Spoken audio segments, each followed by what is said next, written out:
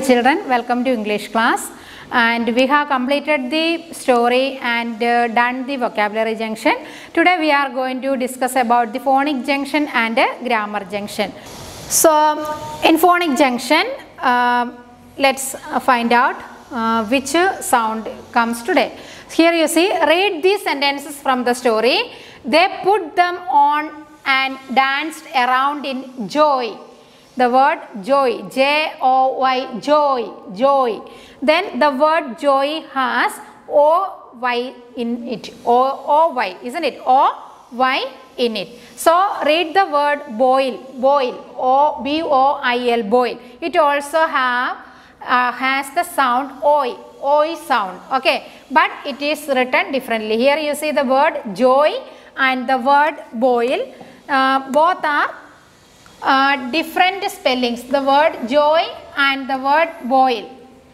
Both uh, words have different spellings but sound oi isn't it? Then let us see some words with uh, oi sound. First the words with oi here you see o i l oil. S o i l soil. F o i l foil. J o i l joy C O I N coin, N O I S E noise. In uh, in all these words, the letters O and I is there, and they sound oi, oi that sound. Okay. Then here are words with O and Y. B O Y boy, T O Y toy, J O Y joy, C O Y koi, E N J, J O Y enjoy, then A N N O Y annoy see the words with the oi sound. So this is the phonic junction. And boil means what? We boil the water. Then joy means happiness. Then fill in the blanks with the words having oi or oy to complete the sentence.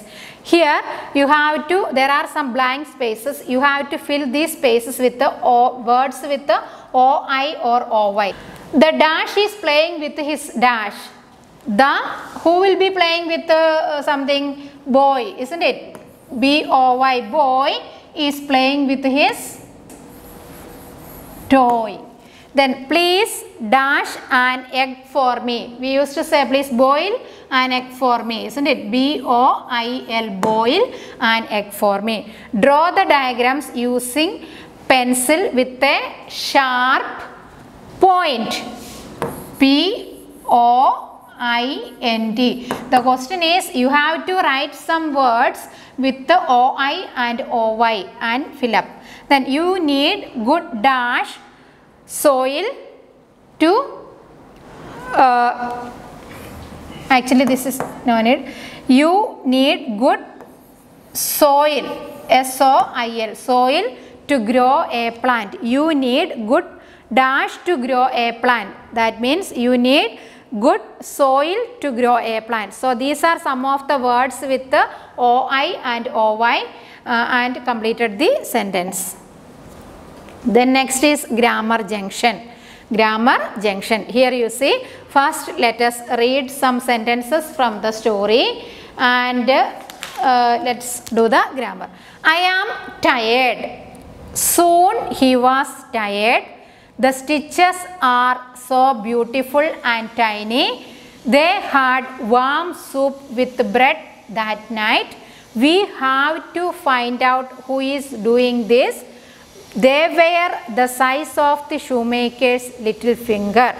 And here you see the words.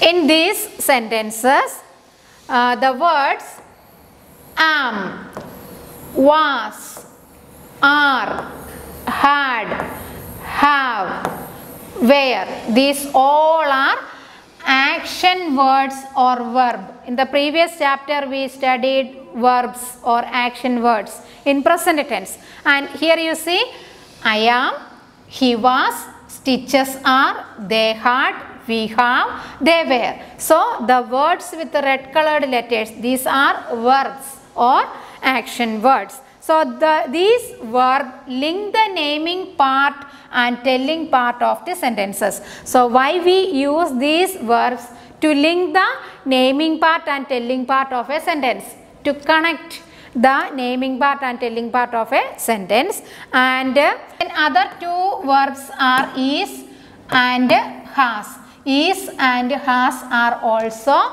two verbs which helps to link the naming uh, part with the telling part. Then examples. Uh, we can also use those verbs to ask questions. Am i a student? Am i uh, come? So like that. Is raju's mother a lawyer? Here you see the word is or the verb is is used to ask question. Is raju's mother a lawyer? We can say raju's mother is a lawyer then the question we can ask is raju's mother a lawyer?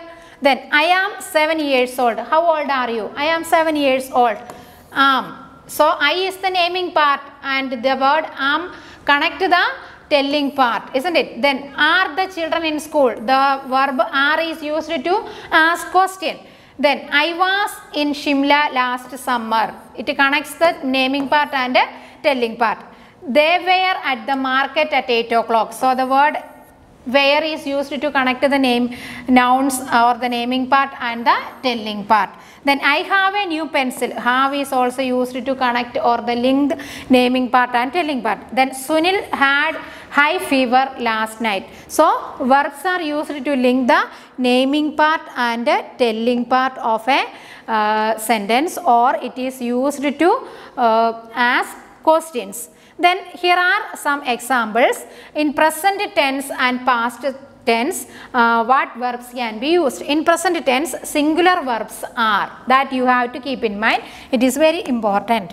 Uh, in present tense we have studied present tense that means things happened in the pre uh, present situation isn't it. In present tense the is, am, has are the singular verbs are and have are the plural verbs. This you have to keep in mind. Is, am, has. These are the singular verbs. Are and have are the plural verbs. Then the in past tense, past tense means things that already happened. So in that time, the, as a singular verbs you can use was and had. Then as a plural we can use were and had. Had we can use in both uh, uh, singular form and in plural form. Then the pronoun I always takes am, was, have or had. So when we use the pronoun I, when we use the pronoun I, that time we always use these verbs.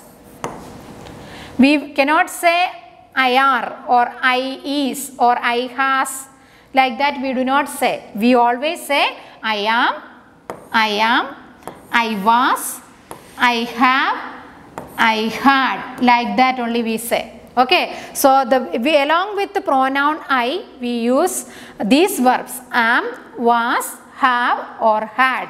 Then along with the pronoun you have to use the, these words are, you are, you were, you have, you had. This also have to keep in mind. It is very important. It is important. Please study. Okay, it is important. Study along with the singular, the singular these verbs and with the plural these verbs. If uh, if it is a singular, if it is in a present tense, is, am, has, and if it is past tense, was, had plural are, have, past tense were, had. With the I, use am, was, have or had. With the you, are, were, have or had. Then here, circle the correct option to complete the sentence. Rules we already studied, isn't it? So now you have to choose the correct verbs. Okay. What dash the carpenters doing at your house? Here you see carpenters, it is a plural noun. So of course if it is plural we have to use are, isn't it? What are the carpenters doing at your house? Then mother bought two pairs of jeans because they dash very good. See two pairs of jeans, it is singular or plural, two pairs of jeans. It is plural. So what we have to use, is it was or where? Yes, we have to use where my mother bought two pairs of jeans because they were very good.